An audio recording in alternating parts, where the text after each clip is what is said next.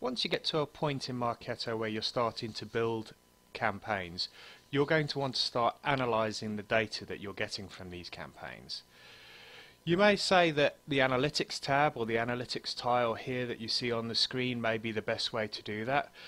That to a certain degree is correct, but that will only give you numbers. So for example, if you want to look at a particular email in isolation, you want to see how many of those emails were sent out, how many were delivered, how many were opened, how many were clicked, it will give you numbers.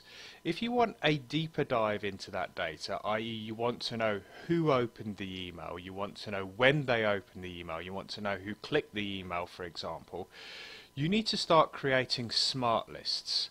And those smart lists will give you a snapshot at a point in time of those people that have done a particular thing or completed a particular action or fulfill a specific criteria. So what we're going to do now is we're going to show you how to create a smart list. Now a smart list can be a generic smart list across your entire lead database or it can be a smart list that is campaign specific. My recommendation to you would be if it's a campaign specific smart list then build the smart list in the campaign itself that means that your data, your filter that you're creating within this smart list is self-contained within that campaign. If you're building one that is more generic and you want to know across your entire database, then build it in the lead database section. For the purposes of this video, we're going to build a smart list in the lead database. So straight away what we need to do from the main screen, again in this video, we need to click the lead database tile. When you arrive on the lead database submenu, on the left hand side you'll notice that there is a folder called Group Smart Lists. Much like we've done in another video when we created a static list, if you right click the Group Smart List folder, you will notice we have the option that says New Smart List. And the little icon for the new smart list is looks like a page with a little glowing sun in the right hand top right hand corner. So we're going to click that and it will open up a pop-up. As with the creation of the static list, the folder is automatically populated, Group Smart List, because we right clicked on the option on the left hand side. We need to give this a name and for the purposes of this video we're going to call it Test Smart List. There we go. As with creating a static list, once again you can give it a, a, description which will give you a better insight into what this particular smart list is giving you in the form of data. Once you're finished, click the Create button and your smart list will appear in the list on the left hand side. What you then need to do is you need to populate this area here by dragging the filters from this right hand list into this area here. Now, for the purposes of this video, what I'm going to do is I'm going to search for people within my company, LBDGA, that have an email address that includes LBDGA. So, for a start, we're going to search for email address because I know that that is a field within Marketo. We're going to drag the field over to the left hand side here and you can see that it populates here.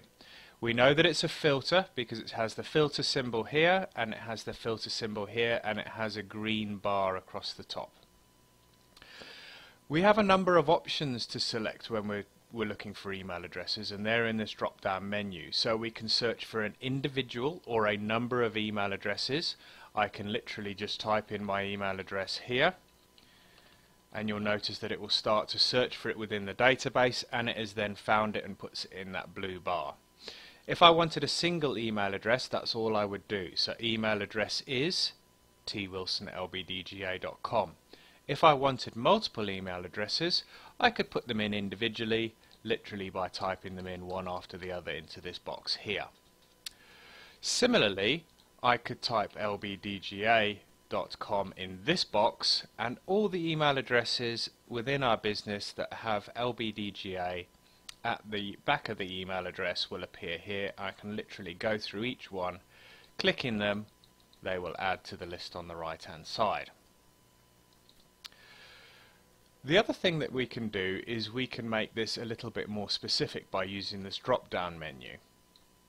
we can say email address is not, so that is the the opposite of is, so in other words we're looking for any email address that isn't twilson at lbdga.com, which means it would give me every other email within the database.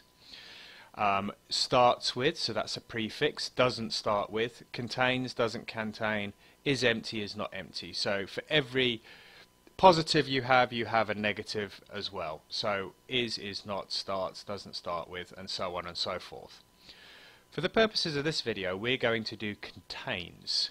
So the email address contains, and then we're going to just put the domain in there. So anything that's got at lbdga.com.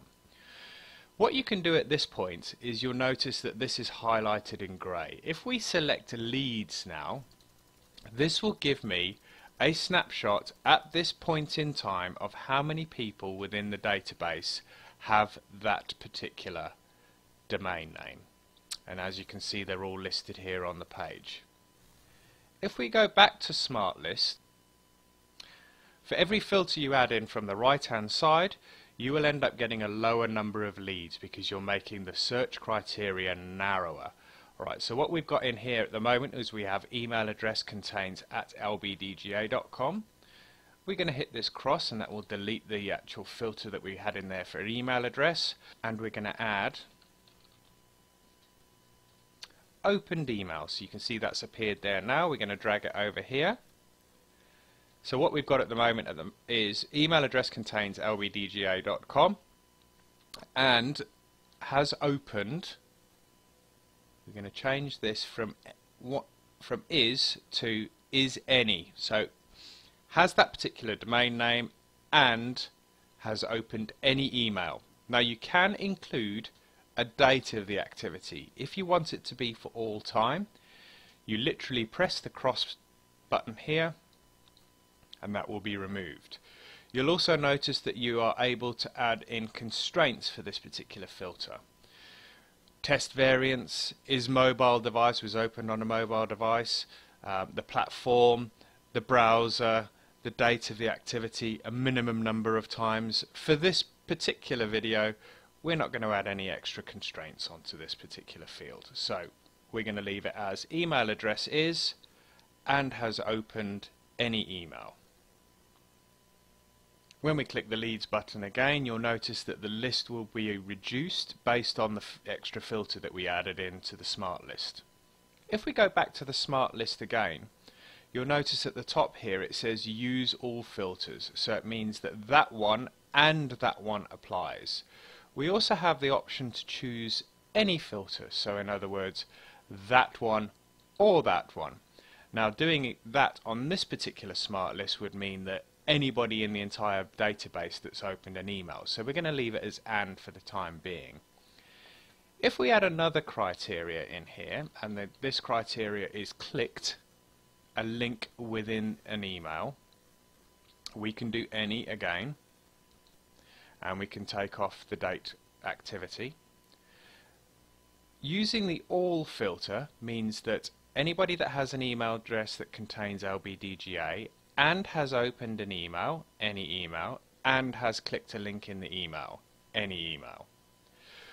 We can add the OR criteria and you'll notice that the advanced filter is now available.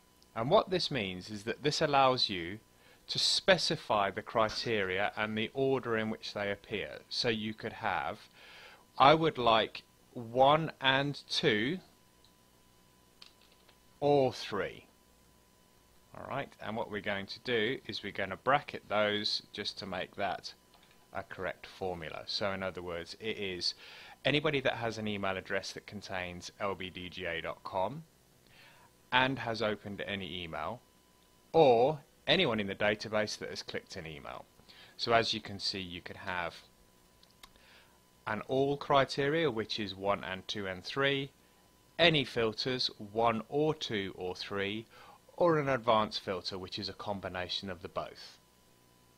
If you click on the test smart list tab, which is the name of the smart list that you created, you'll get a summary of the actual smart list. So it tells you what type, it, what type of list it is. It's a smart list, when it was created, last modified, when you last run the actual count, what the numbers are in there, when the run finished, how long it took to run, and it also gives you a summary of all the filters that you've actually got within the smart list. So we've got three filters in this, and we have the all filters applied.